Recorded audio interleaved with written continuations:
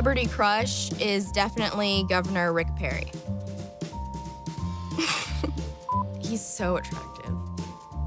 Don't air this, okay? Or maybe you could and he would like want to meet me. Hi, my name is Matti Warren. I'm 17 years old and I have a passion for the outdoors, guns, the Second Amendment, and anything that involves my family.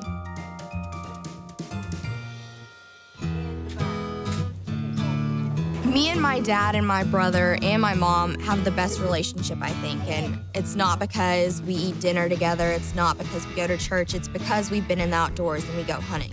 This is the first time Matti and I have actually gotten to go hunting, deer hunting together. And uh, it's awesome. It's, it's, uh, it's a nice trophy. You just learn a lot when you're outside, and that's just molded us into who we are. Oh my goodness, that's all I can say. I'm so honored to be able to come to a great place like this with great people. I want to be a lobbyist when I'm older, and I'm going about that kind of by exercising my Second Amendment and First Amendment rights. And watching my dad in the political atmosphere for hunting made me want to get involved at a bigger atmosphere. He always told me you're supposed to find your one thing and stick with it. Like you can't have all these different stances. And for me, the thing I'm most passionate about is the Second Amendment. So I think with my talents and my abilities, I should protect the Second Amendment for the rest of my life. It's the amendment that's going to protect everything else when all else fails. When the police aren't there to protect you, you're going to be able to have a firearm to protect your family and your home and your belongings. Also, the Second Amendment protects shooting activities, and shooting activities really bring people together. I've seen a lot of families just go out, and hunting is what keeps them together and made their relationships strong.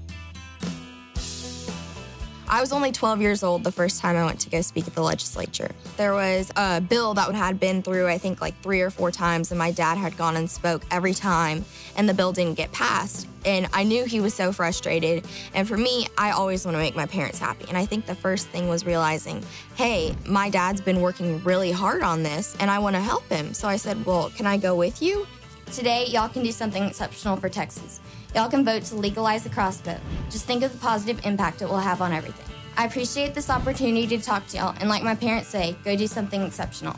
So originally it started out as wanting to make my brother and my dad happy and help them. And then it turned into realizing I was helping a whole lot of other people and I want to do that now.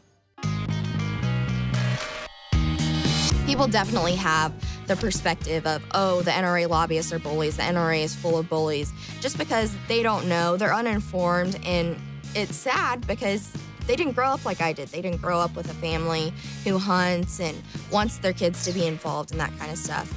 You either think it's all the rich white people or the crazy rednecks. And then when you go to something as simple as a convention, you see it's some of the best Americans because they have value and they have morals and they care about the people around them. It's not just about themselves, it's about everyone.